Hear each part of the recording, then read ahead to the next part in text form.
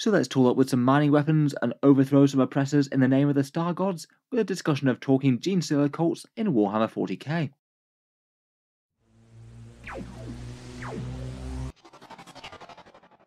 Hello and welcome back to Auspex Tactics, where today we're talking gene stealers, and in particular getting a gene stealer cult army off the ground from a standing start. In the video we'll talk about why you might want to start an army of these mutated mining saboteurs, go through a few ideas for planning out an army, looking at a few reasonable first purchases and a look over the Combat Patrol box set, and then some ideas for expanding an army and one example list. Loads to talk about, so let's jump straight into it.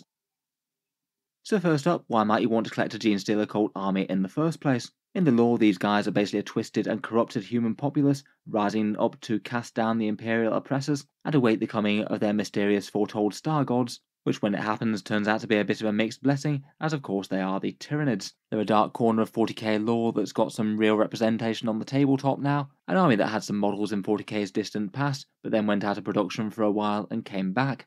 The way a cult starts is that a patriarch makes landfall on a planet and then begins subverting the human populace, getting a core of followers through psychic and genetic manipulation, and from there a twisted cult blossoms, with many generations of mutants being spawned in the dark corners of the hive world under wraps. Then, when the time is right and the coming of the Tyranids is at hand, Typically, the cult will unveil itself, throwing itself and all of its resources against the planet's ruling overlords, and typically making war with a mass of mutated abominations, and also a heavy use of brutal improvised mining weapons that are typically used to cut through hard minerals, but will do a Space Marines power armor in quite nicely as well. They may have been fighting with a planet with generations in the making, but typically they will often be fighting up against a superior armed foe and make great use of ambush tactics and dragging down elite forces that are on paper far better trained than they are. Really quite an interesting army and functions a bit differently in the lore to most of the other factions in the game. As for their miniature range, they have a nice and pretty recent 40k range. They're certainly one of the newer factions to the game, I believe around about 5 or 6 years ago if memory serves, coming back towards the tail end of 7th edition after a long hiatus from some classic models as mentioned. In general, that means that the entirety of the range pretty much is in new snazzy plastic kits. Certainly no bad thing throughout 40k. I guess technically the oldest models are the standard issued Gene Stealers that they have. They're really quite an old kit, but if Tyranids receive a major release at some point, they're almost certain to get redone. In terms of models wise, the range is one of the smaller ones in Warhammer 40k, a slightly more niche faction, but really quite a lot of individual unique character models. I feel like they do have enough miniatures to feel like a whole army, and they can date detachments of Astra Militarum on the sides to bulk out numbers a bit if you want a bit more variety. Miniatures wise, here's just a few examples of models from the range. We've got a drill dozer bladed Goliath rock grinder on the top left with that massive great big drill blade, plus a clearance incinerator on the top, some Atalan Jackal kind of dirt bike type things they zoom around throwing demo charges all over the place. The Kelermorph heroic cowboy style pistolier with three different revolvers to go at you with, and a mutated aberrant with a great big power hammer. In general, the aesthetic is of looted mining gear combined with Tyranid style mutations on normal humans. A lot of them do have rather big heads, going part way to being gene stealers, I suppose. I feel like as a model range, they might be just a little bit polarizing. Some people really like the aesthetic, whereas some people it just doesn't really quite do it for them. Gameplay wise, the faction is really quite an interesting one. They make a big use of guerrilla warfare tactics with a whole ton of sneaky tricks, lots of things that break the normal game rules and allow you to get the first strike on your opponent. I feel like the Codex is a very well written one by Warhammer 40k standards. Most of the units are really usable, and they've got a bunch of really powerful sneaky tricks that they can use, but the units are pointed to reflect that, it means that you might be paying a bit of a premium for their units, but they're usually worth it a bit more because of the crazy things that they can do, like getting big damage boosts when they come in, or popping up in places that they really shouldn't be able to reach. You can also play the Cult in a couple of different ways. I feel like you can really lean into ranged crossfire type shooting and get lots of buffs like that on the go, with things like the Jackal bikes and plenty of vehicles, or you can go properly melee with them, take Twisted Helix, and have big strong mutants drag the enemy down, whether they're aberrants, pure strains, or acolytes. In general, their style is, though, that they need to really capitalise on getting the first strike and then hiding well. If things don't go amazing for them, most of their units are quite fragile and do get taken out fairly easily in return. Currently, for their in-game strength, I'd say they're medium to perhaps slightly weaker on the power curve currently. People have made them work in Nephilim, but I feel like you really do need to play them very intelligently to get good results on the table. You need to make good use of terrain and have every single unit trading out really well with the enemy to keep them on the back foot at all times and score enough points before they catch up with you. maybe a little less forgiving to new players, but have a lot more potential if you master them. Finally, price wise, I would say that Genestealer Cult are among one of 40k's more expensive armies to collect. A lot of their units are new snazzy plastic kits that cost quite a lot from Games Workshop, but don't actually add up to having that many points in game, so you need quite a lot of them. The one saving grace of the army on this front is that the Combat Patrol box set that they come with is actually a really very good one. We'll go over that one in a second, but it's a box that contained the majority of core units of the faction, and you could easily pick up multiple copies. Moving on, presuming that you do want to collect a Genestealer Cult army, there's definitely a fair bit of planning and research that you can do before you jump into models and things. Perhaps a fairly simple place to start might be the Factions Codex. It does give you a fair amount of info between things like the army's rules, the lore and background of the various different cults and the way that they operate, plus a bunch of painting galleries for a bit of inspiration. The codex is usually £32.50, €42 Euros 50 or $55 from Games Workshop. Otherwise, for messing around with lists and rules, you could think about Battlescribe, Wahapedia, or Games Workshop's app for looking at rules and trying to piece some things together, and potentially have a play around with the rules in game, maybe with Tabletop Simulator or proxying some models to try them out. YouTube, I think, is a really valuable resource for learning about any army as you get into it. There's certainly plenty of Genestealer cult content out there. I have made a few focus reviews on the channel here, reviewing the Codex, a unit tier list, and more recently, a slightly more up to date guide as to playing the faction in 9th edition, and I'll link that one down below if you'd find it useful. Otherwise, you can check out battle reports for seeing how units actually come together and interact on the tabletop, there's plenty of painting guides for getting them looking good, and loads of lore videos for how they work in the background. Finally, for research and things, I'd certainly be aware of social media and websites and things. There's a dedicated Genestealer Cult Discord server, there's Facebook groups and subreddits to the faction. Those places can just be really good for imbibing knowledge about an army. Seeing people talk about the faction between model collecting and in game stuff and also ask a few basic questions if there's anything that you're unsure about when you're starting out. Usually, there's all manner of experienced players just falling over themselves to help out newer players with questions. Otherwise, when you're actually planning as to how to get an army together, you could think about what sort of cult you specifically want to be running yourself, whether you're going to be dedicating yourself to one theme out of the lore or on the tabletop, or whether you're going to be going for a bit more of a balanced force that does a bit of everything and shows off the faction in its entirety. In terms of in game rules, custom cults tend to be fairly strong right now out of the rule sections. There's various combos that work quite well, but ignoring the penalty to hit with industrial weapons is quite a nice one. That can typically be quite a good base for a shooty cult, or if you want to go full melee, then getting extra strength and movement with Twisted Helix is also very solid. You could definitely build around certain themes for the army, maximal use of crossfire, for example, with lots of seismic cannons and jackals and things, or perhaps armor heavy lists with a bunch of Goliaths and rock grinders, maybe. Or perhaps an army that really leans into the cult ambush and have lots of melee threats popping up close things like acolytes and genestealers making 7 or 8 inch charges. I'd probably start the force actually focusing on the genestealer cults themselves, but at a later date you could also think about adding in a few brood brothers if you fancied a bit of variety, maybe some genestealer March Leman Russ tanks or something along those lines. I'd be quite tempted to plan out a draft 500 point list to get some combat patrol games going on, and maybe a rough 2000 point target list for just your rough idea of where the faction might be headed, but with a good mind to making revisions as you learn more about the faction and get some games in. Otherwise, besides planning an army list, it would be worth painting up a test model or two. I'd say perhaps the best thing to start with is a standard acolyte or neophyte, something at least reasonably basic and low effort, where you can make some changes and revisions if it doesn't come out quite right the first time. You could definitely seek a bit of inspiration on YouTube from that and maybe make some changes to make your cult colour your own. In general, no one tends to be too bothered at which cult has which colour scheme for Genestealer cults. You certainly could copy one out of the lore, but most people aren't going to know the difference between one and another when they put them on the tabletop, so I wouldn't be too stressed about just using whichever rules you like, despite the colour that you've painted them. I think perhaps in particular for Genestealer cults, contrast paints do tend to work quite nicely on them, there's quite a lot of material and exposed flesh and things, both of which work well with those. Plus the models are really quite detailed and a little bit on the fiddly side. Can be a quick way to pick out all those details in one fell swoop. So after planning an army and getting some idea of where you're going, you could think about first purchases, likely the Codex and the first sets of miniatures. I would pick up the Codex fairly early on. It is the book that gets all the faction rules for playing them in game, and in general it seems to be at least reasonably up to date right now, Games Workshop doesn't have an FAQ document for it on their Warhammer community website, ironing out a couple of issues.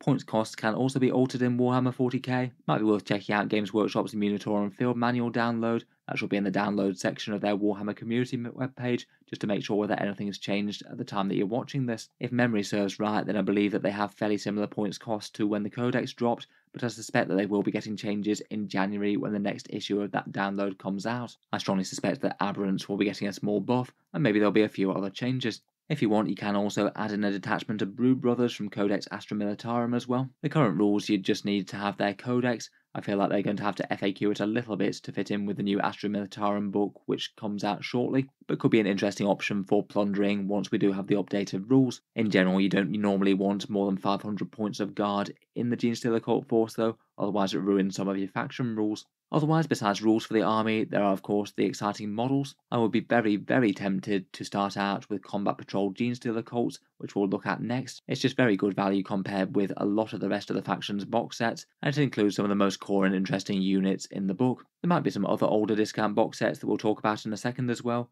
Start collecting Genestealer Cults and a few old Versus boxes. Otherwise, if you didn't want to take the plunge on a £90 box set, then just something like some standard troops wouldn't be a bad place to start. Either Neophytes or Acolytes would be my best bet. Both of them are currently really quite usable in game. And finally, for a bit of leadership for the cult, another box set that I would get very, very early into collecting them will be the Brood Coven one. That one gets you the Patriarch, Magus, and Primus that you can see here on the right. And in terms of Games Workshop's deals for characters, this is actually about as good as it gets. Three characters for the cost of the box set is a lot better than the usual £25 or 30 something dollars they charge for one and gets you actually a sizable amount of points on the tabletop, as well as your HQ slots filled. They're kind of iconic characters in the lore as well. I think it'd be a bit weird to have an entire Genestealer Cult collection but not a Patriarch, even if there might be just a little bit take or leave in game. When buying Warhammer 40k miniatures, I would always be aware that there's usually cheaper ways to get it than directly from Games Workshop. It's definitely not a wrong option, it's often the fastest and more reliable way depending on exactly how convenient it is, and they'll typically have more things in stock than most other places. Otherwise, though, I typically usually go through a local gaming store or a third party discounter. Say, for example, Element Games here in the UK. They're one that I've got an affiliate link for down in the video description. They'll usually give you the same models, but 10 to 20% off Games Workshop's prices. They're just the same models, so it's a pretty easy way to save a decent amount of money. There's plenty of other alternatives though, so I'd certainly give them a search as to the options near you. Otherwise, I'd certainly bear in mind the second-hand market. eBay is often well worth a look, you can get some second-hand models that might have some variable quality but save you a lot of time and money. And in particular, if you just want one of the copies of something out of the Combat Patrol box, there's a pretty reasonable chance that you'll be able to get it cheaper than you would from Games Workshop, just due to people breaking down the kit and selling off bits of it. Might be handy enough if you wanted another squad of Aberrants or another Rock Grinder, for example. These days, 3D printing is another very viable option. Lots of places make alternate sculpts of various different armies. There'll be plenty of suitable mutants and cultists to count as proxies in there, and it can be good for different weapon choices or themed bases and things. And finally, with Genestealer Cult in particular, I think that it's a good army that lends itself to conversions, Say, for example, you could make a Astra Militarum type force with a whole bunch of extra limbs and things to represent the different units. Or you could certainly go for something even wackier. I've seen a few people attempt Genestealer Cult type Orc forces, and there's plenty of opportunities for some pretty hilarious units there. Moving on to that Combat Patrol box though, this is Combat Patrol Genestealer Cults. From Games Workshop at the moment, it's £90, $150, or 120 euros. And in the box, you get the Magus Psyker, 20 Neophytes, 5 Acolytes that you could also build as Metamorphs, 5 Aberrants, and a Goliath Rock Grinder that you can also build as a regular Goliath truck. I feel like out of all of 40k, this is one of the better Combat Patrol box sets out of any of them. You get a lot of units on the table here, and usually these models are really quite expensive individually, it uh, represents around about a 46% discount compared with buying them on their own. I do quite like the unit variety here as well. You could easily get two of these box sets and maybe convert the Magus into something different, and that will get you a pretty excellent starting point for a cult. In game terms, pretty much the entire box is very, very usable. Maybe the aberrants are a little bit more subpar at the moment, though that can always change. And I feel like it's really quite a good move on Games Workshop's part to have a pretty affordable gateway into the faction, Otherwise, I feel like a lot of people might have just been put off by the intimidating prices. Overall, though, I would just say that this box set, accompanied by a Brood Coven, that would give you a pretty decent way to start the army, just maybe convert one of the Maguses into something different. I would also be aware of the previous discount boxes that Gene Genestealer Cults have had. There have been in rather a lot of them. Games Workshop don't stock these anymore, but you might well find them occasionally going up for sale on eBay, or you might find them at third party retailers that just haven't sold them since they bought them. The previous Start Collecting Gene Genestealer Cult box set was quite a good one as well. That one has the Acolyte Icon Ward as the HQ in it, one squad of Neophytes and one squad of Acolytes, always going to be useful, plus the Achilles Ridge Runner rather than the Goliath. If you happen to find one of these going at a reasonable price on top of the Combat Patrol box set, again the two are quite reasonably well paired, not having overlaps with the HQs or the vehicles. Otherwise, the Gene Stealers have appeared in three different previous Versus box sets, Games Workshop sets where they have one army fighting off against another. Deathwatch Overkill is going back away. That one was the initial Genestealer Cult launch with a bunch of their models against a Deathwatch kill team. There was the Tooth and Claw box set within 8th edition, Space Wolves vs Genestealers. That was the one where the Abominant was introduced, plus the multi-part Aberrants. And there's also the more recent Shadow Throne one. That one's got the Brood Coven, the Reductus Saboteur, and I believe some Neophytes fighting against the Adeptus Custodes. Bit of a weird one, that one. Maybe not a terrible start to Genestealer cults, but a bit useless if you've already got a Brood Coven. So in general, my recommended start for an army would be the Brood Coven and the Combat Patrol box set, plus of course anything in particular out of the miniature range that really inspires you to collect the army. When it comes to expanding the force in different directions, I do feel that in general, Codex Genestealer Cults is perhaps one of the most balanced that Games Workshop has released in all of 9th edition, the vast vast majority of the units are very useful, there's maybe just a few ones that aren't quite outstanding. If I were to start the army completely from scratch, these would likely be my first ports of call though. I'd certainly want a decent contingent of troops, both Neophytes and Acolytes are very usable right now and very dangerous in their own way, though I feel like my first way to start building those up would be to get a set of the Combat Patrol box sets, or maybe two. I might not be too adverse to actually converting a few extra Acolytes, perhaps out of spare bits from their kit and the Pure Strain Genestealers perhaps. You could certainly upgrade a few Neophytes with a fair bit of chopping and sticking. I do find the Acolytes are just really quite an expensive box set for the amounts of points that you get in the box for how much they cost, only being 5 models. Otherwise, for really solid ways to push out the army, I'd be very tempted to pick up some Atalan Jackal bikes fairly early. A couple of small units is a real asset to a list, just zooming forward and screening out the enemy, and potentially mauling enemy outlying units as well. They're just all round a strong unit at the moment, fast, tough, and actually quite brutal damage against light infantry too. I'd also certainly think about pure strain Genestealers, within the roster at the moment. If you want to play a more optimized list, one big unit of pure strains is pretty much in auto include territory. Use the proficient planning to give them the upgrade where they either get a pre-game move or get to return to the shadows, and you basically have a unit that you can't really lose with. If the opponent gets first turn, they just vanish off the board and come down to cause problems later. If you get first turn with their pre-game move, they get a first turn charge. Really brutal with a crazy amount of high AP melee attacks, really nice for Twisted Helix in particular. Otherwise, for a bit more onboard presence, I'd be tempted by a couple of rock grinders or maybe some trucks to cart some neophytes or acolytes around. Both the Goliath variants are fairly balanced and usable, and I've seen a fair few people using Achilles Ridge runners for a first turn alpha strike, jumping around the edge of the army. The Gene Genestealer cults do of course have an enormous cast of supporting characters as well, I'd say at time of recording, perhaps some of the most important that you might want to have might be the Nexos for command point farming and laying down crossfire markers. They care more for just brutal pop-up damage and assassination shenanigans on enemy characters, and maybe the Sanctus as well for a bit of similar duties, and also can put out crossfire markers at a long way with an auto-hitting sniper rifle. It is quite nice to have a codex where the vast majority of units are very usable and relevant. When expanding armies like this, I typically aim to do so in small chunks buying units individually or a couple at a time, not overloading yourself, and then getting them painted up and on the table for some games before moving on. It can just be a bit intimidating if you just get yourself a massive hoard of grey plastic. It can just feel that you're not making much progress when you're painting things. Finally, I thought we'd just round up with an example of a 2000 points strong army list this one is perhaps the one that's had the most success in Warzone Nephilim so far, designed and played by a chap called Eric Lathoras, who used it to take first at TNA Open 2022. This one's run with a custom cult with a whole bunch of different benefits, including industrial affinity to ignore the penalty on industrial weapons like the neophyte seismic cannons, war convoy for a feel no pain on the bikes and the vehicles, and a couple of others with a minor durability and melee buff. It's run in a single battalion, and the main theme of this list is just bikes to the max, Three huge units of Atalan Jackals, which maybe isn't enormously normal for Genestealer Cult year lists. They take two Wolfquads in each unit with the incinerators, and two demo charges for some drive-by blowing things up. They are pretty efficient units to be fair, though more typically see play in a bit more of a scout and outrider type role. Otherwise, there's just a whole bunch of good Genestealer stuff here, the icon wards to allow for some easier charges out of deep strike and regenerating models, a Primus to buff your damage, a Clamavus to hold down objectives and taking Oppressor's Bane to hand out some crossfire tokens, a Kelermorph the Pistolier with the great big worm tooth rounds that can have them punching through heavy infantry, no questions asked, a Nexos with some cranial inlay, that's a relic that allows some command point farming,